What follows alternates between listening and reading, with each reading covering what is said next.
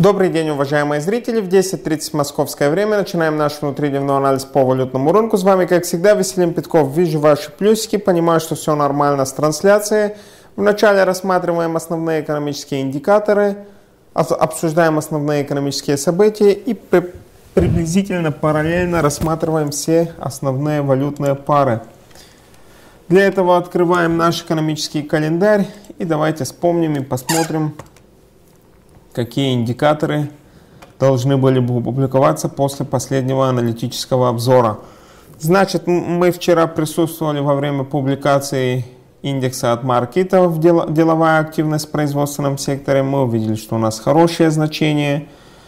А, даже думаю, что по факту это значение некое, некий исторический максимум за последние три года, если я не ошибаюсь. Можно посмотреть. То есть за последние три года это самое хорошее значение. Продажи существующего жилья мы увидели, что у нас значение выше, чем ожидалось, выше, чем было месяц назад. То есть, как мы говорили, это хороший сигнал для американской экономики, для американского доллара. Это позитив. Ну вот чуть попозже, полтора часа попозже, когда были аукционы по векселям, трехмесячные, шестимесячные, у нас практически при аукционе проторговались чуть дороже, то есть ставки под снизились.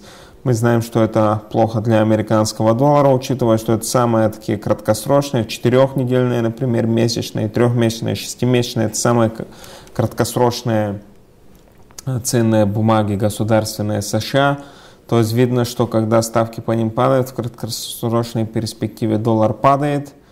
То есть именно это один из показателей, который показал вчера, что у доллара на вчерашний день не было возможности для роста. Мы не говорим, что доллар будет падать из-за этого, но причин для роста не было. А, индекс опережающих индикаторов в Китае сегодня был опубликован 0,7, предыдущее значение 0,9, вполне приличное значение. Я не могу сказать, что это очень важно, если честно, для австралийского доллара. Торговый баланс по Швейцарии профицит увеличивается. А, экспорт и импорт за май достаточно хорошие. Мы видим, что практически по сравнению с предыдущими значениями экспорт увеличивается. В целом я смотрел на динамику экспорта за последние несколько лет. Если честно, он все время улучшается в Швейцарии. Там вообще нет никакого проблемы с дефицитом или с профицитом когда-нибудь, имею в виду с дефицитом когда-нибудь по торговому балансу. Всегда хорошее значение и в целом торговая активность в долгосрочной перспективе всегда увеличивалось, там и экспорт увеличивался, и импорт. То есть этот индикатор всегда был достаточно стабильным. Конечно, мы знаем, что сама статистика по Швейцарии сейчас не так сильно влияет на швейцарский франк, но мы должны его рассмотреть что у нас есть до конца нашего дня? Как мы говорили, единственный индикатор по Германии, который сегодня публикуется по евро, который в известной степени может повлиять на пару евро-доллар. Конечно, если здесь расхождение очень сильное от ожиданий, то тогда это существенно может повлиять. Хоть учитывая, что пара евро-доллар очень стабильна в последнее время, там вообще никакой волатильности не только по этой паре нет. Я думаю, что даже движение на 40-50 пипсов это очень мощное движение именно а, движение в ближайшее время.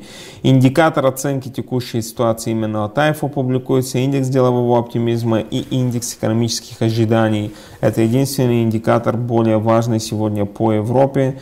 Даже э, имею в виду, что вот эти индикаторы по Италии, по Испании не могут повлиять сильно вообще из тех которая сегодня есть. Сегодня по Британии публикуются одобренные ипотечные кредиты. Знаем, что рынок жилья очень важен, так что думаю, что в известной степени фунт будет достаточно чувствителен к этим событиям, учитывая, что в это время публикуется инфляция. Мы знаем, что практически инфляция в Британии снижается. Единственное, а, рынок жилья перекуплен, считается перекупленным. Там а, цены на жилье резко повысились последние несколько кварталов. И, а, как мы увидели во время последнего заседания, Банк Англии снова подчеркнул, что это является проблемой, но они еще пока не могут определиться, это из-за внешних факторов или из-за внутренних факторов. Конечно, если из-за внешних факторов, для фунта, как мы говорили, нет причин для роста, но если они определят, что это именно из-за внутренних факторов, то тогда они очень рано могут повысить ставку, как говорил Марк Карни, принять такую меру, чтобы ограничить раздувание вот этого мыльного пузыря. Поэтому думаю, что для фунта это событие будет важное. И в любое время одно из этих ключевых событий просто либо по Британии, либо по США может э, раз, э, сильно раздвинуть вот эту пару фунт-доллар. Что у нас еще есть до конца дня, как мы еще вчера говорили, как о, мы несколько раз подчеркивали, выступление главы ФРБ Филадельфии Чарльза Плоссера, индекс розничных продаж от Редбука, но для доллара единственно важные индикаторы для нас это сначала в известной степени индекс цен на жилье в месячном и годовом выражении от S&P Case-Shiller, но ключевые индикаторы это нет сомнений, что продажи продажи новых домов, они должны были бы здесь быть в красном. Как мы говорили, на этой неделе самый важный индикатор это понедельник, то, что вчера вышел хороший индикатор по рынку жилья. Сегодня и в среду, конечно, кульминация это будет большой, по большому счету ВВП в США. Все вот эти три индикатора, вот эти три дня определят лично, по моему мнению, тенденцию американского доллара до non-farm payrolls до конца следующей недели. Так что доллар сейчас очень чувствителен. И, конечно, уровень доверия потребителей от конференц-борда. Мы знаем, что он достаточно важный индикатор. Он важнее, чем мичиганский а, индикатор, который публикуется в пятницу. Так что 18.00 будет достаточно интересно по американскому доллару. Тоже нужно следить за размещением сейчас четырехнедельных векселей, за размещением годовых векселей. Учитывается, что это будет достаточно важный аукцион, я читал, что уже э, многие ожидают, что именно исходя из этих аукционов будет ясно, как инвесторы смотрят на э, американские ценные бумаги, как они будут смотреть на них в ближайшее будущее. Конечно, это мы сами знаем, что очень важно для американского доллара аукцион практически эмиссия будет достаточно большой, так что здесь будет интересно, как, какой будет спрос, как это повлияет. Так что сегодня к добавлению к продажам новых домов нужно отследить и вот эти аукционы. Завтра утром цены на корпоративные услуги по Британии. Выступает глава Резервного банка Австралии а, Стива, Стефан Левы. То есть здесь написано Лоуи, но он, я точно не знаю, как читается, у него немецкая фамилия Леве. Хочу сказать, что иногда мы сами помним, что в последний год, один раз, когда выступает с, э, Глен Стивенс, то есть глава Центробанка, там австралийский доллар э, рос или падал на 70-80 пипсов. Потом выступал заместитель, э, э, э заместитель э, главы Резервного банка Филипп Лёе, то тогда все разворачивалось и на 70-80 центов, э, извиняюсь, пипсов на 0,7 центов, хотел сказать, а австралийский доллар изменялся. Поэтому всегда вот эти выступления важны, учитывая, что австралийский доллар в достаточно такой перекупленной зоне, сейчас потенциально перекупленный, он будет очень чувствителен к этим выступлениям. Поэтому нужно отследить и за этим выступлением. И, конечно, уже завтра индекс потребительского доверия GFK и будет наш следующий обзор. То есть следующие 24 часа ключевые индикаторы это по США, нет сомнений, плюс размещение четырехнедельных векселей. В известной степени события по Британии и, конечно, в маленькой степени немецкий показатель. Какие у вас вопросы по макроиндикаторам? То есть я даже и в обзорах уже читал, что на этой неделе, как мы и вчера озвучили, динамика валютного рынка будет зависеть от американской статистики. Конечно, очень важный день будет среда, когда будет опубликован на опубликовано финальное значение по ВВП в США. Несколько новостей хочу показать. Говорят на рынке, это такой обзор, канадский доллар, возможно, достиг точки разворота. На заглавие не обращаем внимания. Какова моя цель? Канадский доллар продолжил свой рост из-за укрепления цены э, укрепление цен на нефть. Мы знаем, что канадский доллар коррелирует с ценами на нефть в долгосрочной перспективе. И из-за того, как мы все время подчеркиваем, рост преимущественно вызван данными по инфляции за май, плюс данные по инфляции за последние несколько лет здесь, извиняюсь, за последние несколько месяцев, что каждый раз общая и базовая инфляция в этом году была выше прогнозов, за исключением одного случая, когда значение показателей совпало с прогнозом. То есть всегда выходила хорошая инфляция практически, а Банк Канады всегда говорил, что это краткосрочный эффект, что инфляция выросла из-за дешевого канадского доллара, и это будет скорее всего, краткосрочно, рано или поздно это сбалансируется, и инфляция э, начнет снижаться. Поэтому многие все-таки еще ожидают, что э, канадский доллар будет падать, но исходя из этого обзора мы видим, что вот этот позитив по канадскому доллару, который последнее время существует, да, он сохраняется, так что пока еще шортить канадского доллара, видно, что причины нет. Я с целью это показываю, потому что это очень хорошо, что мы вовремя отказались от этой сделки, предчувствуя все вот это, что может произойти. И вот учитывая, что этот краткосрочный позитив по канадскому доллару существует, как мы вчера говорили, и раньше, из-за хорошей статистики по Канаде в этот период, из-за хорошей инфляции, за последние несколько месяцев и на прошлой неделе из-за хороших розничных продаж, что же у нас произошло вот это падение. То есть мы ждем, чтобы канадский доллар достиг до вот этого уровня, и тогда, когда будет публиковаться уже, если будет, соответственно, публиковаться хорошая статистика по США, будем рассматривать возможность для длинных позиций.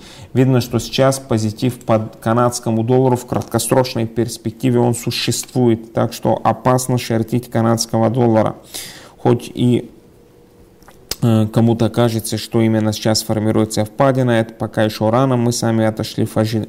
Э, в ожидание. Так, 19-19 по Европе наводный, как мы знаем, он всегда был а, более негативно настроен по инфляционным ожиданиям в Европе, поэтому он говорит, инфляция будет оставаться значительно ниже целевого уровня ЕЦБ до 2016 года, и мы не заинтересованы в ослаблении темпов укрепления курса евро. То есть а, а, наводный просто показывает, вот видите ли, евро будет как будто падать, а, наша денежно-кредитная политика, исходя из низкой инфляции, и в дальнейшем будет давить на евро, но это не является нашей целью. То есть а, курс национальной валюты для ЭЦБ не является целью по определению. 2031 тоже про Канады. Банк Канады, вероятно, откажется от ключевой фразы в своем заявлении.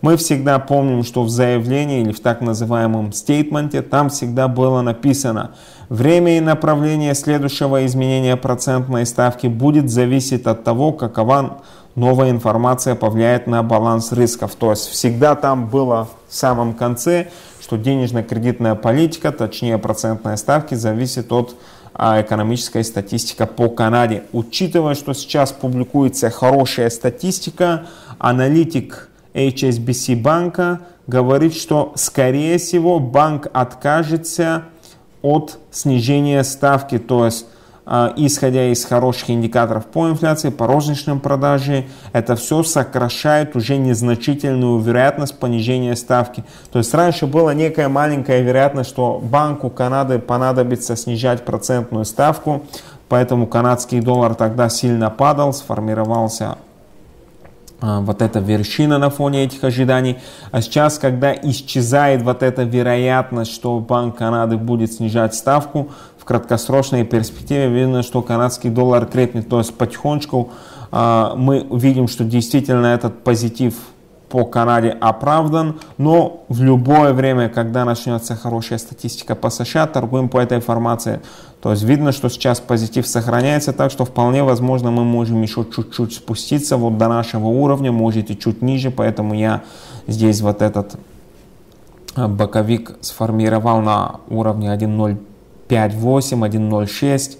вот в этом уровне будем уже рассматривать возможность для покупки. А, из новостей у меня больше ничего нет. Я открываю тогда торговый терминал. Давайте посмотрим на первую пару евро-доллар. Вот наша первая пара на 15-минутном время, что у нас есть. В преддверии открытия торгов по Европе некий такой маленький рост.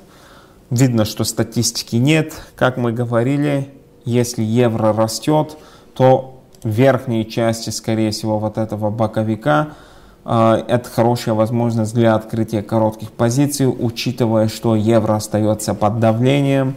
Э, то есть для нас это будет некая возможность открытия, для открытия мелких позиций. Еще один раз хочу озвучить свое мнение. Если мы рассматриваем вот эти два боковика, то есть вот эта верхняя часть, здесь наша впадина приблизительно, уровень верхний 1.37. Конечно, мощное сопротивление на уровне 1.37. 40. Вот мы сейчас пока еще движемся в этом боковике между уровнями 1.37 и между уровнем 1.34.80 или 1.35. Если по США статистика не будет очень хорошей, то мы, а, имею в виду в наибольшей степени а, значим ВВП, который публикуется в среду. Просто известное время мы будем двигаться в этом боковике. Я сильных причин для роста, то, чтобы мы снова поднялись выше вот этого уровня 1.3740 и чтобы двигались в верхнюю часть, такой вероятности лично, по моему мнению, очень маленькая, то есть незначительная, я ее не рассматриваю. Почему? Потому что мы все видим, что есть уже сильное расхождение в денежно-кредитных политиках в Европе и в США, и индикаторы в Европе не очень сильно а, радуют последнее время, то есть они хорошие, но они сильно отстают от американских. Поэтому либо пока еще быки и медведи будут бороться в этом боковике, и доллар будет чувствителен, соответственно, евро очень сильно к статистике по США на дневной базе, и рано или поздно, когда произойдет э, позитив по американской экономике, это может произойти после конца следующей недели, если будет опубликован хороший non-farm payrolls и так далее, то тогда просто боковик меняется и потихонечку мы спустимся вниз. И я думаю, что рано или поздно мы зайдем в нижний боковик и уже будем двигаться в нижнем боковике. А, то есть евро остается под давлением, но как мы говорили, евро индустриальная валюта, так что тут никакого обрушения мы и не ждали, и не ожидаем, что произойдет, просто это будет происходить очень медленно, зигзагом, ступенчатым видом. Будьте очень внимательными, поэтому по этой паре мы говорим, что учитывая, что обе, пары, обе валюты индустриальные в паре, нужно иметь в виду, что э, движение будет достаточно слабым.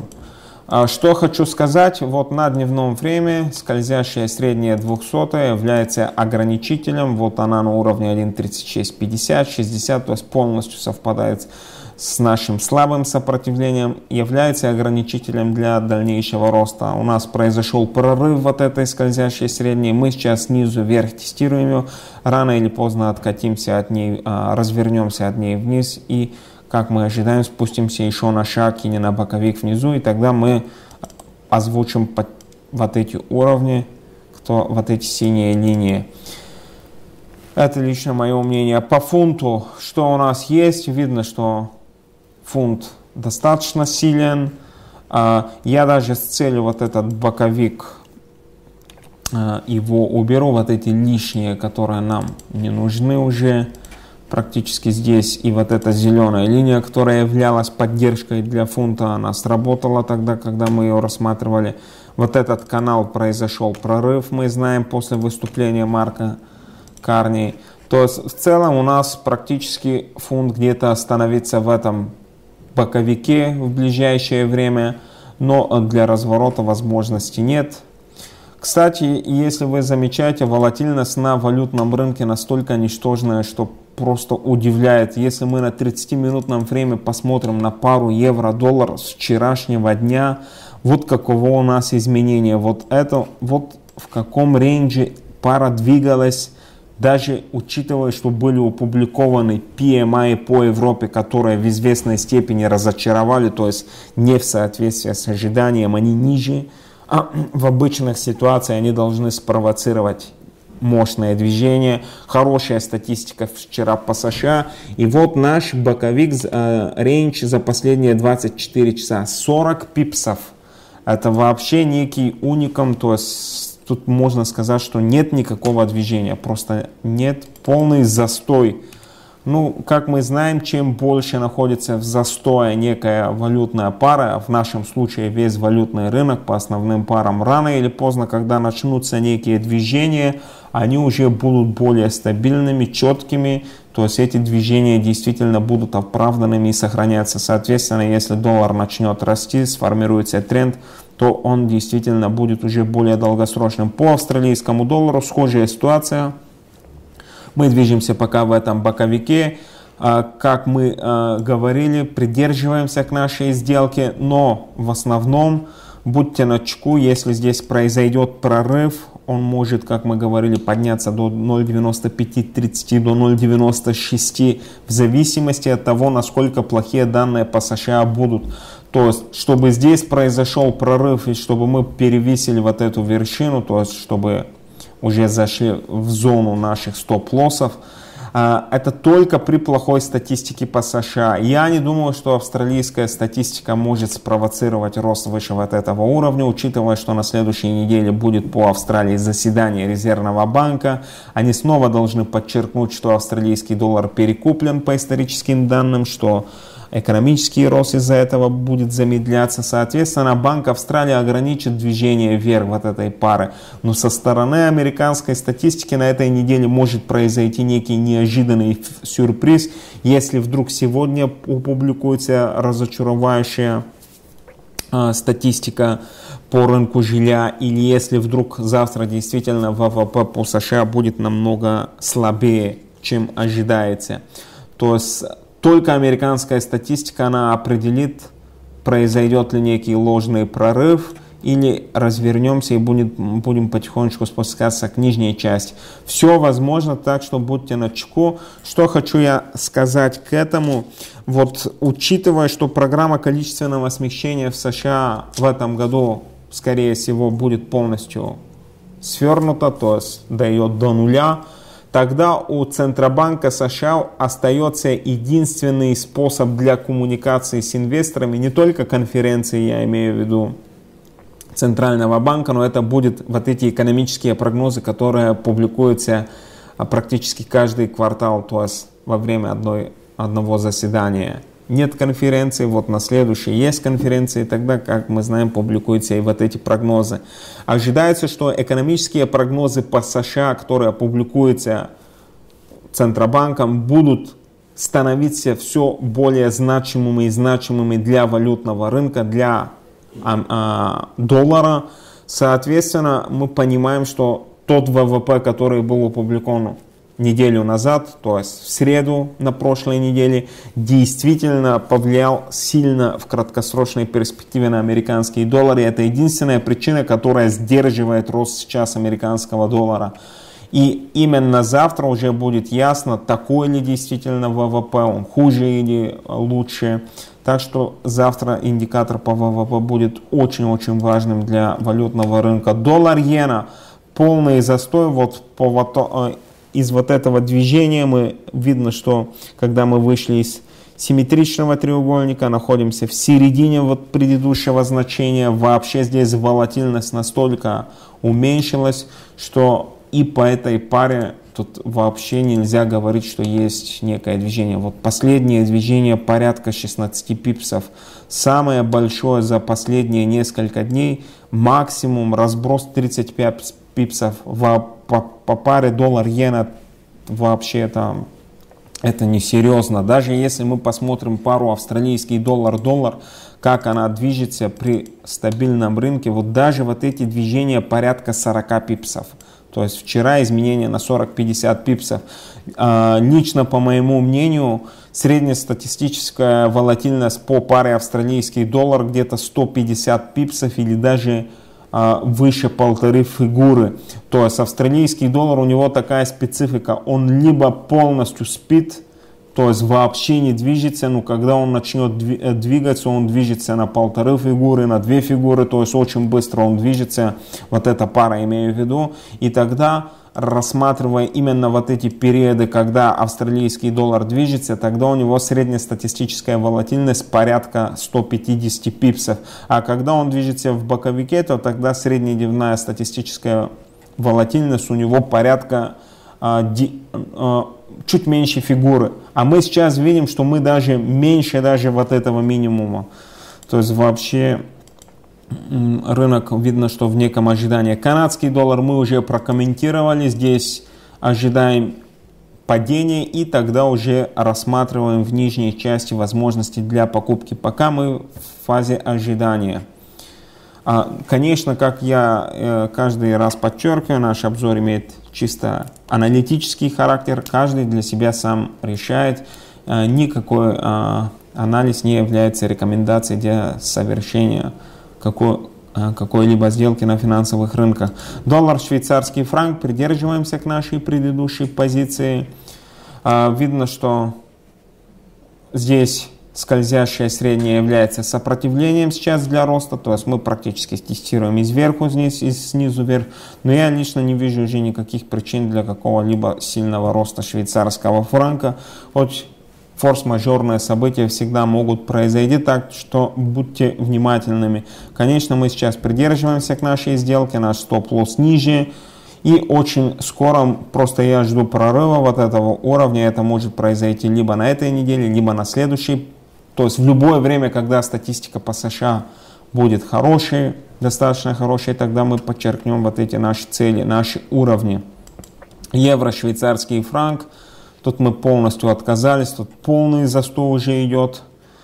Уровень 1.2170 на 15-минутном времени. Если посмотрим, 14 пипсов. Вот 14 пипсов максимальный разброс цены за последние одну неделю приблизительно.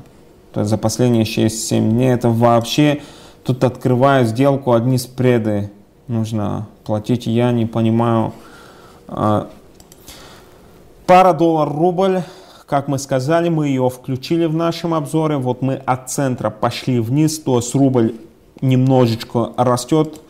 А, почему это так? Давайте я открою наш экономический календарь, которым мы будем пользоваться для а, рубля. То есть давайте мы, где у нас Forex календарь здесь. Так, investing.com. Вот наш сайт, валюты, экономический календарь. Ага, вот наш экономический календарь. Давайте отследим, э, посмотрим на динамику, точнее на индикаторы по России за последний месяц и сделаем некий вывод. То есть вот наш июнь. Что у нас было? Инфляция в соответствии с ожиданием. Э, резервы Центрального банка сократились практически на 30 миллиардов или на 20 миллиардов за последние несколько кварталов из-за интервенции. Торговый баланс улучшается. Процентную ставку они сохранили на 7,5 в начале 16 июня. Неделю назад был опубликован ВВП полностью в соответствии с ожиданием. Индустриальное производство по России повышается, больше ожиданий, зеленая цифра, производственная инфляция тоже растет, ожидалось снижение, вот видно, что производственная инфляция тоже растет.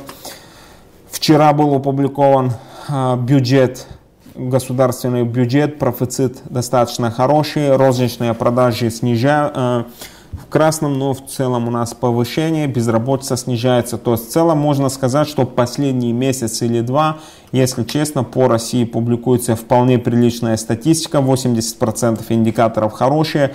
Вот именно они а, оказывают поддержку рублю и видно, что за последний месяц полтора практически рубль крепнет, учитывая, что в качестве ограничителя было а, две повышения процентной ставки, ключевой процентной ставки, мы ограничили а, рост вот этой пары, именно поэтому мы поставили вот эти уровни. Сейчас мы знаем, что в нижней части рубль будет уже перекуплен, и тогда потихонечку а, мы рассмотрим возможность для покупки. Сейчас мы просто ждем, мы видим, что практически оттолкнулись от центров от середины вот этого диапазона вниз, в нижней части будем покупать, потому что вспоминаем, что сам банк именно здесь, Центробанк России, вот именно здесь, он нам несколько раз подчеркнул, что вот это повышение ставки является краткосрочным, чтобы мы сдержали падение рубля. Рано или поздно мы вернем процентную ставку к нормальным уровням.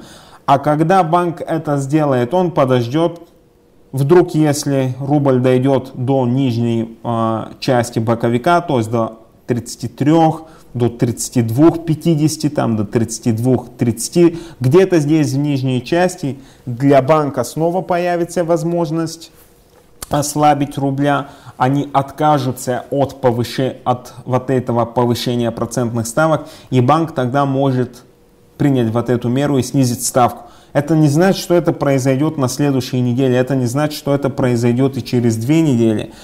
И это не значит, что когда рубль сразу дойдет до вот этого уровня, на следующий день или через неделю банк сделает эту интервенцию. Мы сами знаем, что эти институции, когда говорят а, повышение ставки здесь было краткосрочно, это значит несколько месяцев – то есть это а, для, а, краткосрочно для центрального банка, это не как краткосрочно для трейдера, для ин, а, розничного трейдера, для которого краткосрочно значит внутри дня.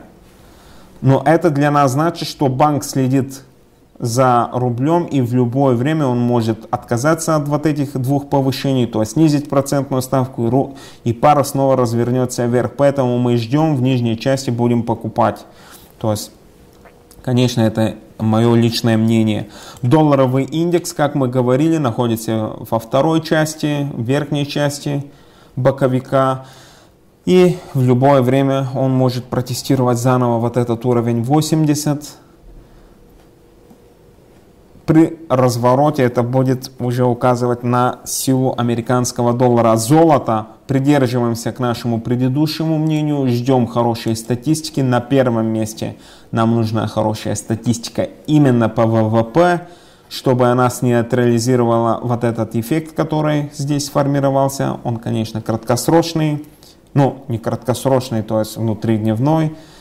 При хорошем ВВП вот этот эффект от снижения прогнозов по ВВП будет нейтрализирован, и тогда будет возможность открыться по нашей информации. Сейчас мы просто в ожидании. Какие у вас вопросы по валютному рынку? Жду вашей реакции в чате. Просто одни плюсики шли.